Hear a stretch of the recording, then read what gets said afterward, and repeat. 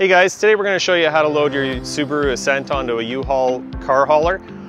Keep in mind your vehicle may be slightly different than this one, but let's go ahead and get the truck and the trailer prepped for the loading. First, make sure that the towing vehicle is in park, with the parking brake set. Double check the trailer's wiring harness, coupler, and safety chains to make sure that they are securely attached to the towing vehicle. At the front of the trailer, free the tire straps from the ratchets.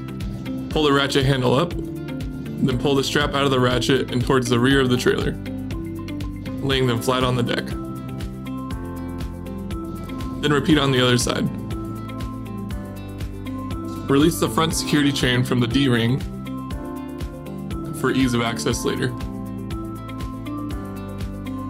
Next, lower the driver's side fender.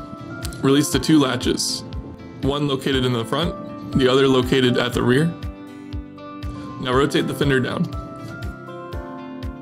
Now, prepare the loading ramps by releasing the latches that are holding the ramps in place and pulling the ramps completely out. Then repeat on the other side. Release the rear security chain from the D-ring for ease of access later. Center the vehicle to be loaded behind the car carrier. While loading the vehicle, drive slowly and have an observer make sure the front of the vehicle does not hit the ramps. During the loading process, make sure your guide stands off to the side. Continue slowly up the ramps and onto the trailer until the vehicle's tires come to rest against the stops at the front of the trailer.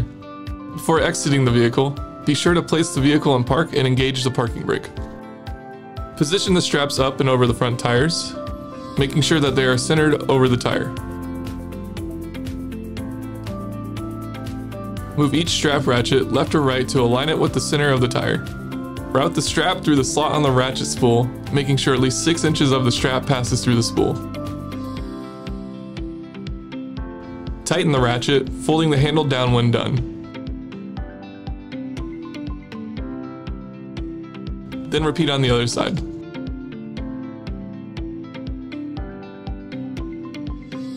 Finish securing the vehicle by fastening the security chains to the frame or other structural member.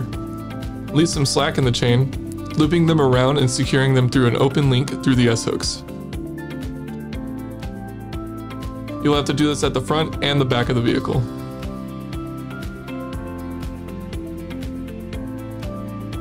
Stow the ramps by lifting them and sliding them back until the latches re-engage and are correctly securing the ramps. Raise the driver's side fender and secure it with both latches. Recheck the tire straps and all hookup connections after the first 5 miles, again after 50 miles, and thereafter at all stops during your travels. For more information, you can visit your closest U-Haul store or uhaul.com.